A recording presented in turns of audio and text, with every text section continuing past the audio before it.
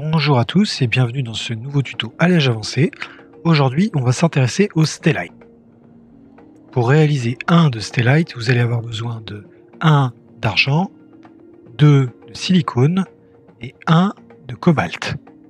Côté pression, on voit qu'on est plutôt assez élevé, entre 10 et 20 mégapascales, mais surtout la problématique et la difficulté sera au niveau température, puisqu'il faut une température minimale de 1800 Kelvin, ce qui est très élevé.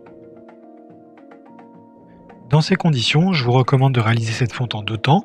Tout d'abord, de processer l'intégralité des minerais nécessaires pour votre fonte, et dans un second temps, de chauffer à la bonne pression et température pour pouvoir sortir votre alliage directement.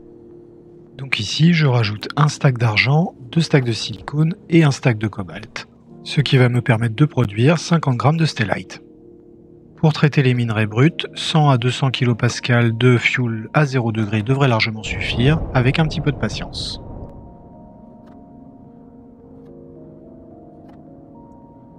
Tous les minerais étant traités, je vais maintenant faire une purge complète de ma fournaise avant de procéder à la bonne cuisson.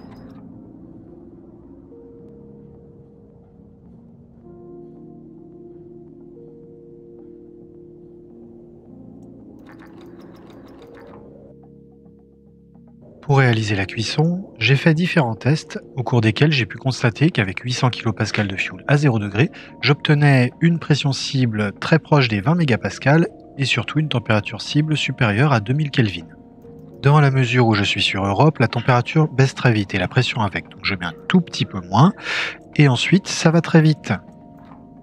Je ne prends même pas le temps de regarder ma pression, dès que je vois que mon Stellite est prêt à sortir, je clique sur ma manette et le tour est joué.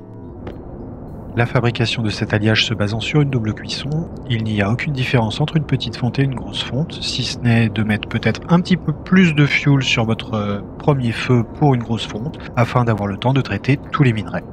Voilà, j'espère que ce tuto Stellite vous aura plu, n'hésitez pas à vous abonner, à liker, à laisser vos commentaires. Pensez également à nous rejoindre sur Discord, sur Twitch, on se fera un plaisir de vous accueillir. Et encore une fois, merci à tous. Allez, ciao